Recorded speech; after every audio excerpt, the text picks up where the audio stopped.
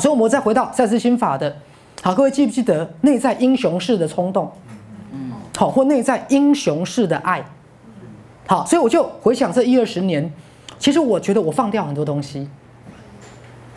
好，其实很多东西，也许我是应该站在我的角色，我应该去发号施令的。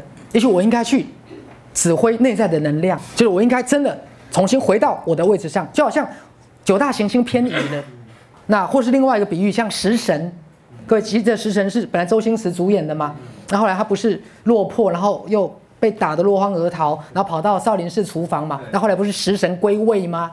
好，那我觉得那个有一点像。重新找回自己内在真正的本来面目，好，就是你在人世间，好像是活着，可是你逃避了那么多年，也许逃避了上千年，在这么多次的轮回转世当中，其实很多东西，也许你一直在逃避，你从来没有真的归位。各位，归什么位？归你归你回来心灵的本质，好，归到你真正心灵的那个力量。好，因为我们一直把我们的权利、把我们的力量交给别人，投射出去，我们一直不想去承担。好，承担起自己生命的权柄，就像赛斯一直在讲的，You create your own reality。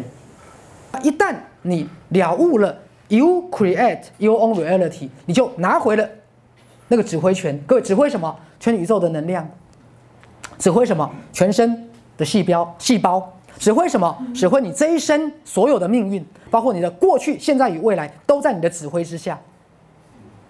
举例来讲，也许你们某些人是爸爸，某些人是妈妈，某些人是老板，某些人是员工，好，某一些人是姐姐、哥哥、弟弟，可是你从来没有在你的位置上。嗯。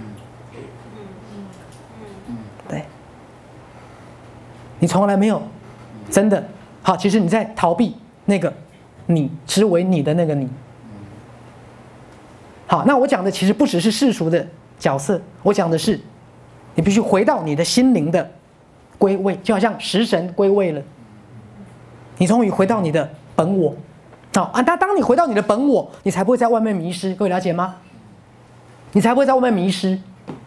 好，当你回到你的本我，就要像将军回到了这个指挥总部，而不是将军带着一把步枪去外面。好看，一个敌人打一个敌人，各位了解哈。这个将军终于回到指挥总部，然后坐在他的指挥椅上面。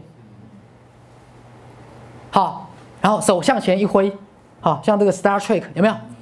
对，前进，前进是好。所以我希望各位你们也慢慢找回你回到你的指挥椅上，回到你的本我的感觉。那我刚讲的整个宇宙的力量在等你指挥，整个宇宙的力量在等你指指挥。好，所有你周遭的，你这一辈子所有的命运，在等着你下达命令。